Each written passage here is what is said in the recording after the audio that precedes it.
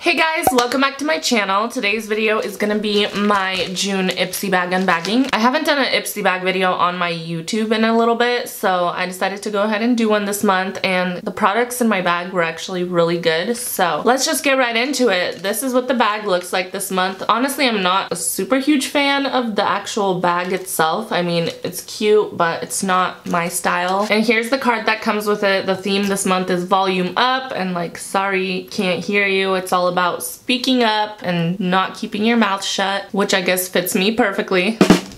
If you can't tell, I am missing my eyebrows because the first product in this bag is the City Color Bold Brow. This is an eyebrow powder and it opens up and it has a brush and two colors. You're supposed to be able to like mix and match to make a good shade for your brows. I'm definitely not going to be using this little brush. I'm going to be using the Anastasia angled brush. People use brow powders in different ways. Some people use it just by itself. Some people use it to set whatever brow pencil pencil or brow pomade that they're using. Just for the sake of this video, I'm gonna try to use it by itself. I haven't really ever used a brow powder. So I'm a little bit nervous. I'm gonna start out with the lighter shade for the inner part of the brow because I don't wanna go in super bold and dark. Okay, so, so far it's not bad. I'm interested to see how it's gonna fill in like these areas where I don't have as much hair because that's where I usually need a dark brow pencil. So I'm gonna mix a little bit of the darker brow shade in with the lighter one. Okay, actually it's not bad at all.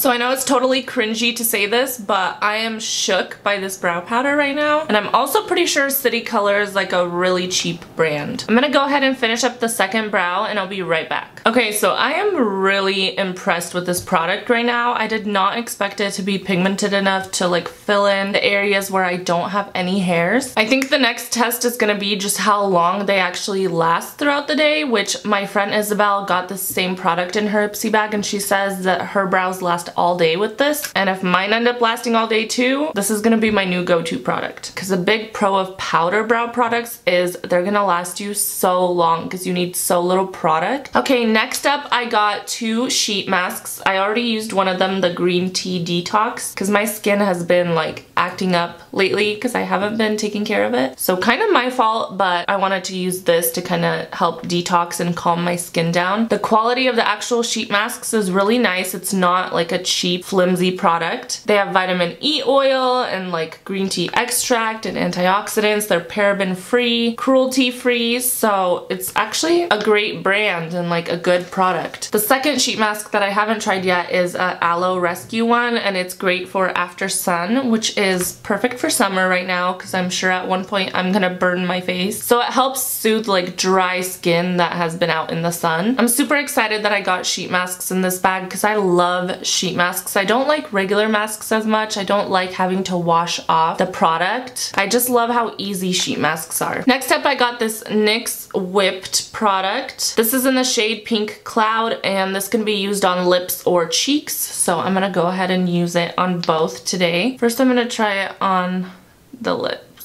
Definitely more subtle in pigment, which I guess is good since it's used on the cheeks as well. For the cheeks, I'm just gonna apply some on my hand first, and I'm gonna apply it with a sponge.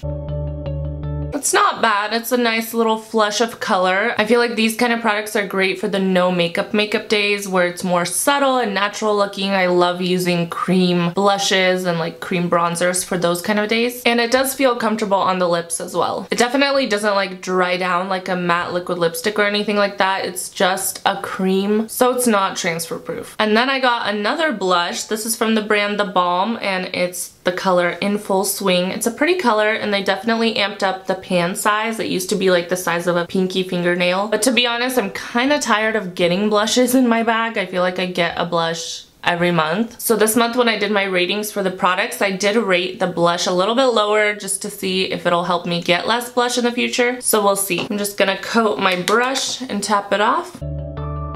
I mean, I guess I already have blush on, so like this is gonna be a really rosy day. Last but not least, I got this Skone Liquid Eyeliner. This is called Insanely Intense Tattooed Waterproof Liner. It has a felt tip pen like that, which I don't mind, and it is in the color black. So I'm gonna go ahead and go in and see how it applies.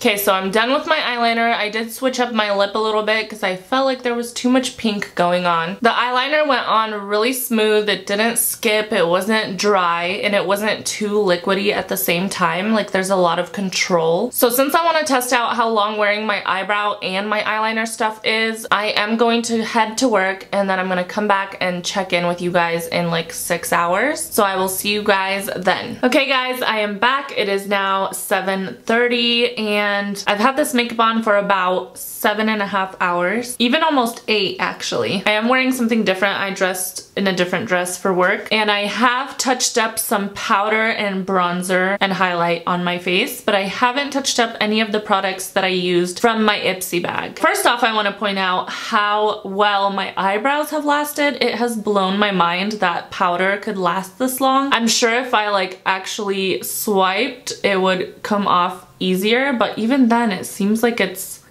staying on pretty well. So I looked it up and this little duo is $6 at Walmart, which is incredible. I'm super excited that this worked out for me because I'm literally gonna use this all the time now. I'm also excited that powder products run out way slower because I'm always running out of my NYX Micro Brow Pencil and it's gonna be really cool to have an alternative that actually works and makes my brows look the way I like them to. The blush I also didn't touch up. I'm not sure if it was the cream one or the powder one that lasted so long, but it has stayed very well throughout the day. I'm gonna have to test out again and see which one of these is the one that lasts long. I gotta say I'm not a big fan of this on the lips. I don't know if it's just the color or what, but I do like the NYX matte lip creams. I just wasn't a big fan of this one. The eyeliner I haven't touched up either. It has stayed put all day. It hasn't rubbed off or anything. It literally stays on amazing. I really think that this might be a dupe for the Kat Von D tattoo eyeliner. So the Kat Von D one is $20 and it looks like on the Skone website this one used to be $20 but it's 15 now on sale. So I'm actually surprised that there's such a small difference in the price. And it's also crazy that this is a full-size product and it costs more than the entire Ipsy bag. So just with these three products it's already worth $26. Not to mention the two sheet masks and a sample size blush. So I'm guessing that this month's bag was worth like 30 plus dollars for 10 bucks. So to sum up, the only thing I wasn't a huge fan of was this NYX product, but everything else I feel like was amazing. Once again, really satisfied with my bag from Ipsy this month. I was also thinking recently to maybe do a video where I go over all the products that I still use that I got in previous Ipsy bags, because sometimes some of this stuff just like lays around and you never end up using it, but some of these products that I've gotten over like the past year, I still do use all the time. So let me know if that would be an interesting video for you guys. Well, I think that is all I have for this video. As always, thank you guys so much for watching and I'll see you guys next time. Bye!